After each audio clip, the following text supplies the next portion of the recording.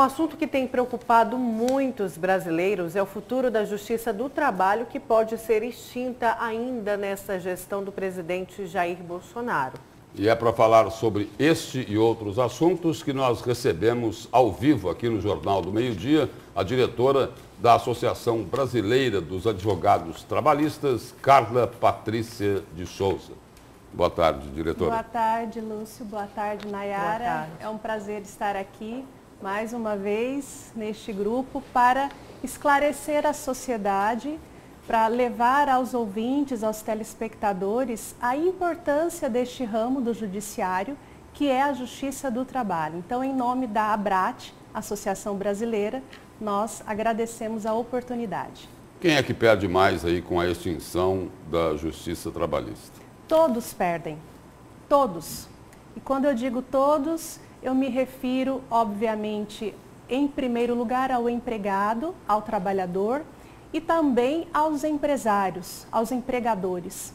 Porque a justiça do trabalho. Os advogados perdem também, também com isso? Também, todos nós perdemos.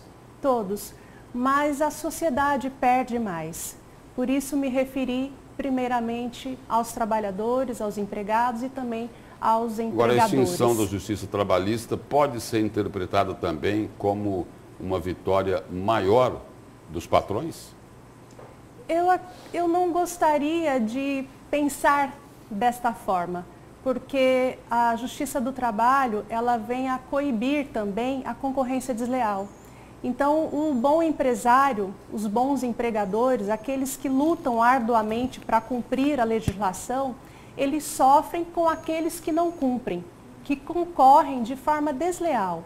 Então a Justiça do Trabalho ela vem para pacificar os conflitos entre o capital e o trabalho, entre empregado e empregador.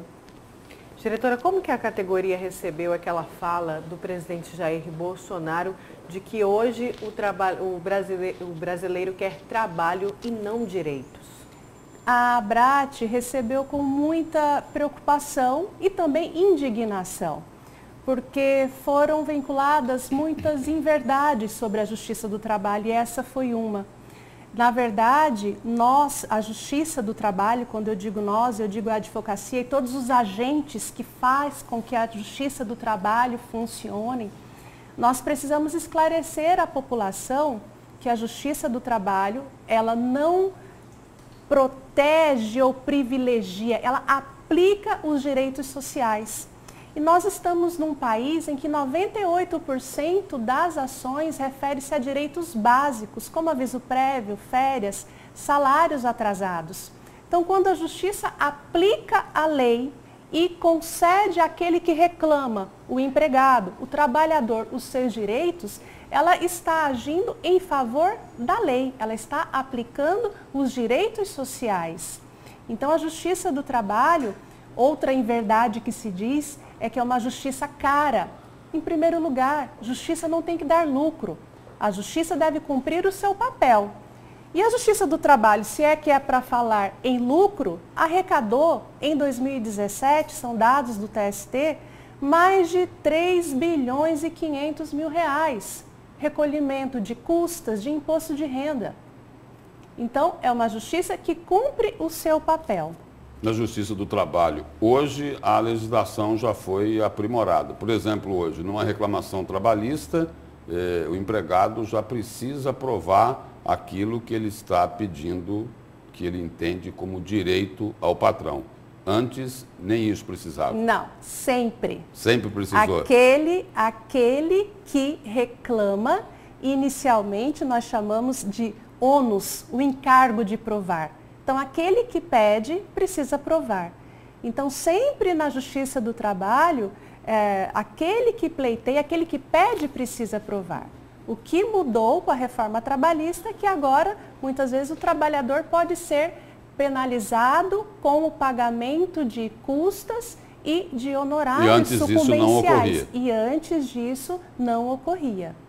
E como que as entidades do trabalho, até mesmo a OAB, vem se organizando para manifestar. Teve uma manifestação recente, né? E agora vai ter uma grande manifestação em Brasília no dia 5 de fevereiro? Exato. Na Justiça do Trabalho? Em todo o Brasil, no dia 21 é, passado, a segunda-feira passada, em todas as capitais do Brasil aconteceram atos em defesa da Justiça do Trabalho. Aqui em Cuiabá nós tivemos, a OAB participou e o ato aqui em Cuiabá foi organizado também pela nossa associação local, que é a Atramate. No dia 5 de fevereiro, nós teremos o grande ato nacional em Brasília, com a participação da Associação dos Magistrados do Trabalho, Associação dos Procuradores do Trabalho e de várias entidades que atuam direta ou indiretamente na justiça. E como está aí o, o trabalho em relação àqueles que podem evitar a extinção da justiça trabalhista, no caso aí, a classe política? Nós ainda é, não tivemos é, notícia de movimentação, porque foi no início agora de janeiro essa manifestação do presidente da República, que cogitou-se da extinção da justiça.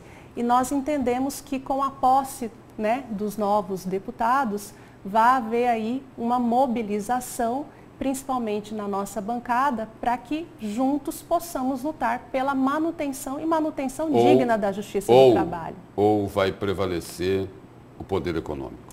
Nós esperamos que não, que prevaleça os direitos sociais, que prevaleça a justiça, que prevaleça o trabalho e o trabalho digno. Porque o poder econômico está prevalecendo na questão ambiental. Está Exato. prevalecendo, inclusive, na preservação de vidas humanas, basta olhar o que está acontecendo lá em Minas Gerais. E vale perguntar. Onde passaram por cima de todas as leis, onde políticos eleitos, financiados por mineradoras, não interferiram numa legislação retrógrada e atrasada e que já matou mais de 60 pessoas. E vale destacar que é o maior acidente né, de trabalho já registrado infelizmente, no Brasil. Infelizmente, nós temos notícia de que o número de mortos é, de empregados terceirizados ou de empregados diretos da Vale pode representar o maior acidente de trabalho do Brasil.